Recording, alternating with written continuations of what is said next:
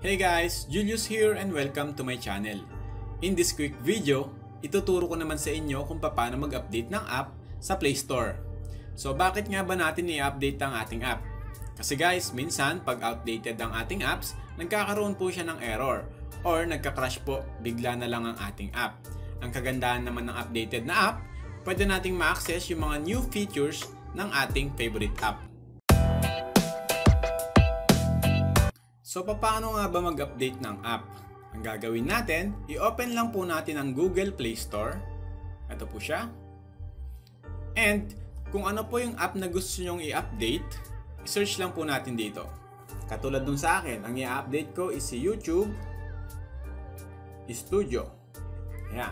So itong app ko na to guys, kailangan ko pong i-update. Kasi minsan matagal po siya mag-open or nagkakaroon siya ng error. So ito pong YouTube Studio, i-click lang po natin or i-open.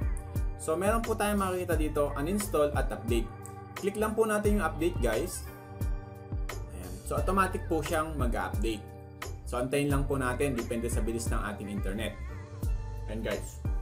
So yung mga built-in naman pala na apps na default ng ating system, ayan. So pwede po natin i-update yung ating settings. So itong video kasi natin guys kung paano po mag-update ng app sa Google. So ayan guys, so automatic updated na po siya. Pwede na natin i-open. So ayan guys, updated na po yung app na YouTube Studio natin.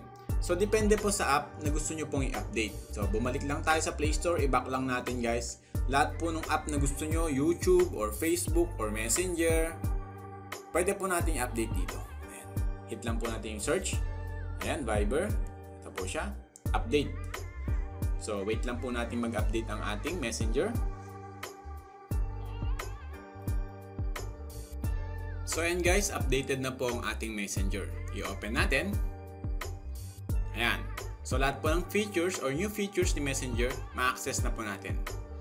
Guys, ganyan lang po kadali mag-update ng ating app sa ating Play Store.